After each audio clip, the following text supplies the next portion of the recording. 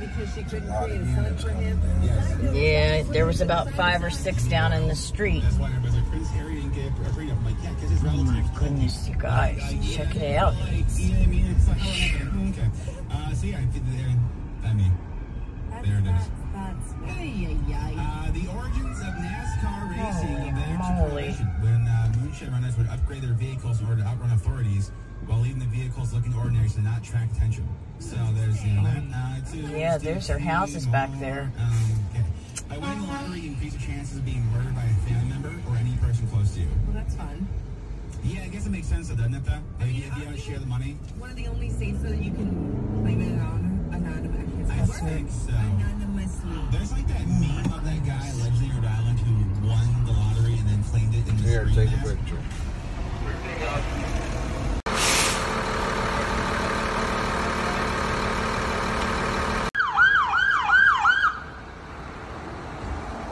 So the whole street is blocked off, and there are police and fire trucks everywhere. I'm gonna see if I can walk down the street, but I don't wanna get in anybody's way, you know? Hold on. So they are literally up on the ladder and trying to put it out. I can't get any flames from Probably gonna yell at me.